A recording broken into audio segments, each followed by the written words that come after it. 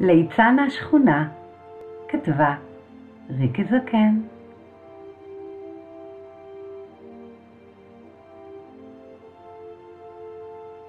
פעם אחת בשנה אני אוהב להיות ליצן השכונה.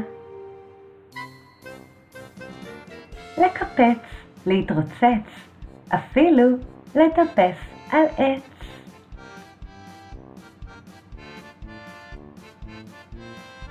פעם אחת בשנה אני אוהב להיות ליצן השכונה. עם אף אדום ומעוגל, ושיער נפוח ומקורזל, אלבש סרבל, בצבע סגלגל, ואצא לרקוד עם ילדים במעגל.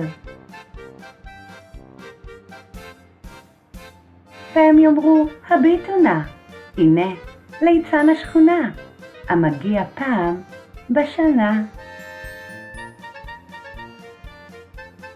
מכיסיו שלף מטפחת, בפיו בדיחה משמחת, צחוק גדול ומשחרר את צחוקו בשכונה ומפזר. מותר היום, כולם אומרים, מותר להיות ליצן בחג פורים.